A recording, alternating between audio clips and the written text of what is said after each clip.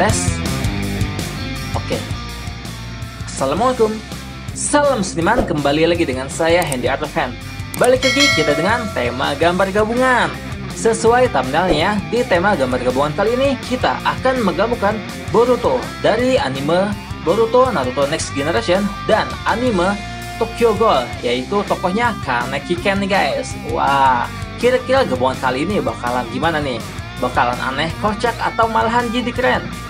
Oke ya, seperti biasanya, buat kamu yang penasaran gimana hasilnya, sabar ya, gak usah pakai skip-skip. Tonton aja videonya sampai habis, simak aja proses pembuatannya sampai selesai sampai jadi guys. Oke nih, kayak biasanya ya, mula-mula kita buat sketsanya dulu nih. Saya masih menggunakan Faber-Castell Grip Matic atau pensil mekanik Faber-Castell yang 0,5 ya. Kalau kamu mau membuatnya dengan pensil apa pun, itu sama aja ya, itu bisa-bisa aja. Sekali lagi, yang penting itu bukan gimana alatnya, tapi gimana kita mengaplikasikan alatnya guys. Oke?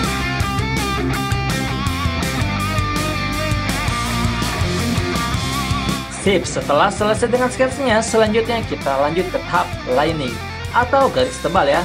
Sketsanya tadi kita gunakan, kita timpa dengan garis tebal yang menggunakan pena jenis apa pun. Mau pena, mau spidol. Kalau saya ini menggunakan drawing pen ya. Saya menggunakan drawing pen merek Snowman yang 0,05 guys. Yang ujung penanya itu lumayan kecil sehingga kita bisa lebih leluasa dalam membuat detail-detail kecil ataupun garis-garis tipis.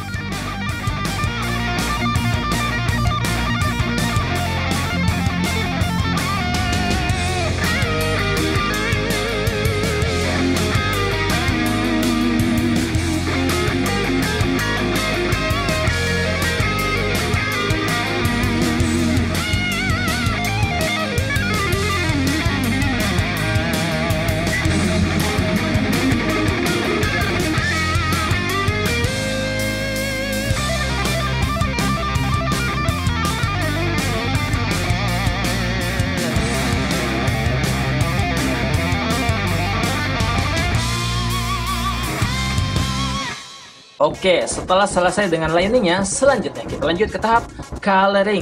Sekali lagi buat kamu yang penasaran gimana hasilnya, sabar ya, gak usah pakai skip-skip. Tonton aja videonya sampai habis, simak aja proses pembuatannya sampai selesai sampai jadi. Oke, ini dia Boruto X Kaneki Ken ala Handy Fan. Check it out.